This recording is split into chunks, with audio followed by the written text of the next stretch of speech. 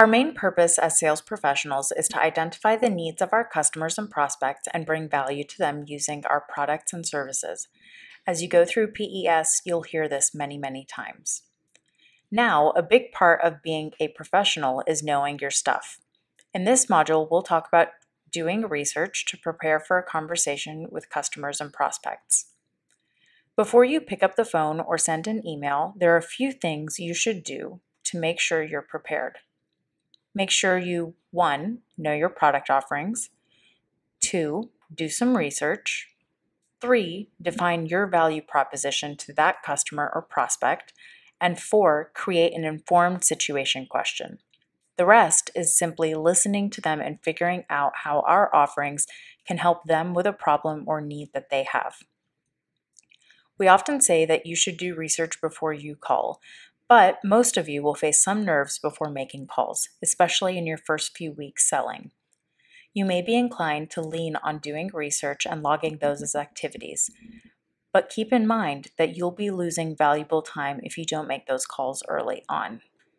So, remember to start early. We like to say that you should take about three minutes doing research before you call someone. Take one minute to research the company using their website or other online resources, including current events and articles. Take one minute to research the person you plan to call using LinkedIn and other social media platforms or their biographies on the company website.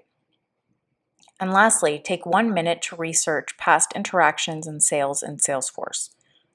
As a bonus, you can even talk to the PES students who sold to or contacted them in the past. So let's say that after four or five minutes, you've done your research and gotten some good background knowledge.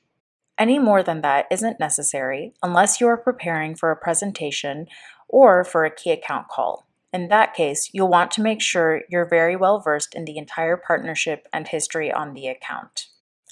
Let's take a look at this account. From the Account Detail tab, we can see that this company is a strategic partner.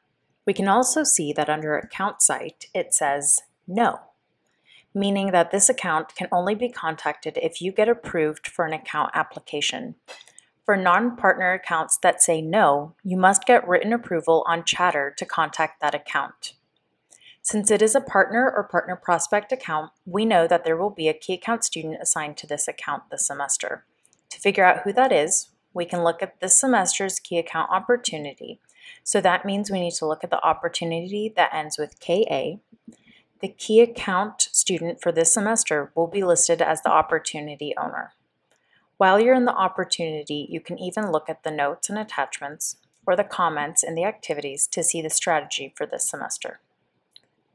Now, let's go back and look at all the opportunities for this account.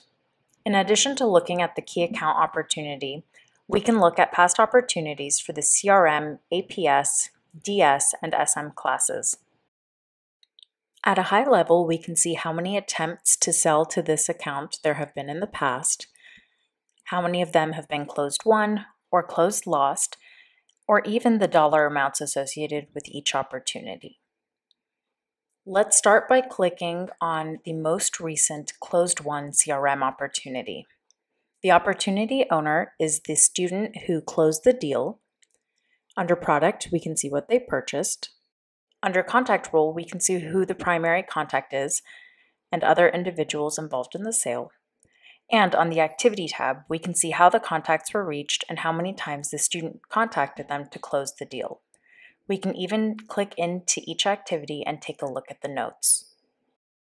Repeat these steps with any opportunities available to you, and soon you'll have a great picture of what this account's interactions with PES have been in the past.